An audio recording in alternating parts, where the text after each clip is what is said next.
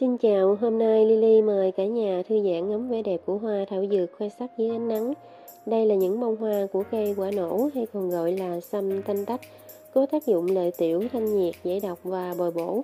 Dân gian thường sử dụng loại dược liệu này để giảm nóng sốt và điều trị các chứng bệnh về đường tiết niệu như sỏi bàng quang, sỏi thận.